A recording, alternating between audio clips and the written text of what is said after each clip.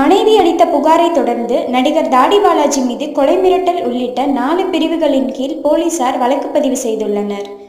சினிமாவில் காமெடியனாக நடித்து வரும் தாடி பாலாஜி தனியார் டிவியின் பல காமெடி நிகழ்ச்சிகளிலும் பங்கேற்று வருகிறார். நடிகர் தாடி பாலாஜி கடந்த எட்டு ஆண்டுகளுக்கு முன்பு நித்யா என்பவரை காதலித்து திருமணம் செய்து கொண்டார். இவர்களுக்கு போகிஷா என்ற ஆறு வயது பெண் குழந்தையும் உள்ளது. இந்நிலையில் தம்பதியினருக்கு இடையே அடிக்கடி கருத்து வேறுபாடு ஏற்பட்டு வந்ததாக கூறப்படுகிறது. இதனால் பொறுமை இழந்த நித்யா கடந்த மே மாதம் இருபத்தி மூன்றாம் தேதி மாதவரம் போலீசில் புகார் ஒன்று அளித்தார். அந்த புகாரின் மீது நடவடிக்கை எடுக்கப்படவில்லை என கூறி சில நாட்களுக்கு முன் நித்யா மாநகர காவல் ஆணையர் அலுவலகத்தில் புகார் மனு ஒன்றை அளித்தார். அந்த மனுவில் பாலாஜி அவரை தொடர்ந்து கொடுமைப்படுத்துவதாகவும் தாக்குவதாகவும் தெரிவித்திருந்தார்.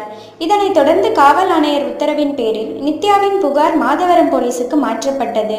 இதனைத் தொடர்ந்து தாடி பாலாஜி மீது பெண் வன்கொடுமை சட்டம் ஆபாசமாக திட்டுதல் தகாத வார்த்தைகளால் தரக்குறைவாக பேசுதல் கொலை மிரட்டல் ஆபத்தை ஏற்படுத்தும் வகையில் தாக்கியது என நாலு பிரிவுகளில் போலீசார் வழக்கு பதிவு செய்துள்ளனர்.